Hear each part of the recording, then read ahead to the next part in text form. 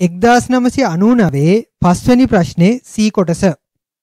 ඔබට තාත්වික වායුවක් සපයා ඇත. එහි සාපේක්ෂ අනුකස්කන්ධය ඔබට දන්වා නැත. මේ තාත්වික වායුව පරිපූර්ණ ලෙස නොහැසිරෙන බව පෙන්වන්නට ඔබ තැත් කරන්නේ කෙසේදැයි පැහැදිලි කරන්න. පදාර්ථයේ වායුමය අවස්ථා මාස්ටර් ක්ලාස් එකේ 25 වෙනි පාඩමේදී තමයි මම මේ ගැන කරුණු සාකච්ඡා කළේ.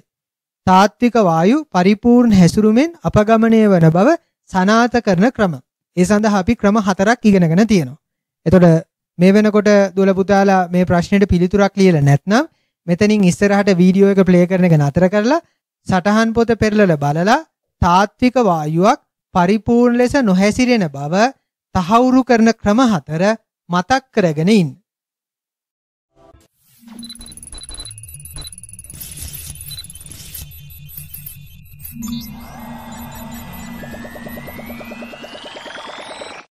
එතකොට තාත්වික වායුවක් පරිපූර්ණ ලෙස නොහැසිරෙන බව සනාත කරන ක්‍රම හතරෙන් පළවෙනි ක්‍රමය උනේ අදාළ තාත්වික වායුව බොයිල් නියමයට අනුකූලව නොහැසිරෙන බව පෙන්වීම.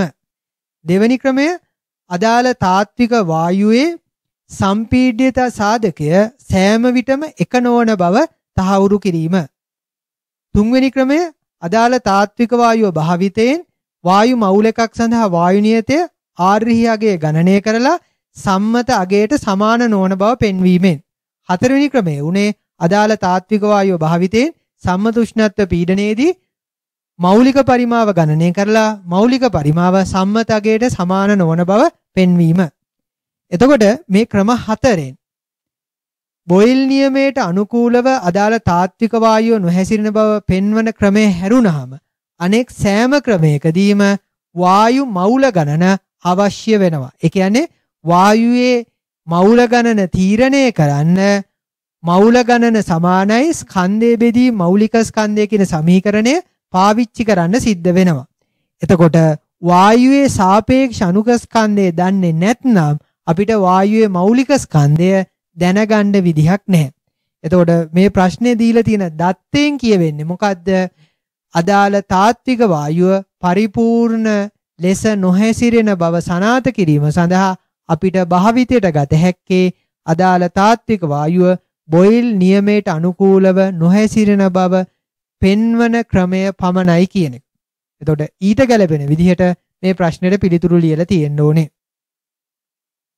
එතකොට අපි මේ විදිහට ලියන්නේ අදාළ තාත්වික වායුවෙන් නියත ස්කන්ධයක් ගෙන උෂ්ණත්වයේ නියතව තබාගෙන පරිමාව වෙනස් කිරීම.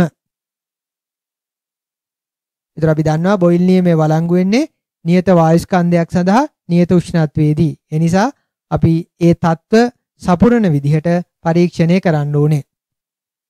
එක් එක් පරිමාවේදී වායුවේ පීඩණය මැන ගැනීම. ඒතර අපිට පුළුවන් අදාළ දත්ත වගුවත කරගන්න.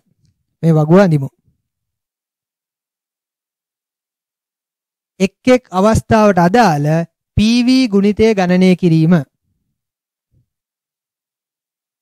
එතකොට වායුව පරිපූර්ණ ලෙස හැසිරෙන වායුවක් නම් PV ගුණිතය නියත අගයක් ගන්න. වායුවේ PV ගුණිතය නියත අගයක් නොගැනීමෙන් වායුව පරිපූර්ණ ලෙස නොහැසිරෙන බව සනාත වේ.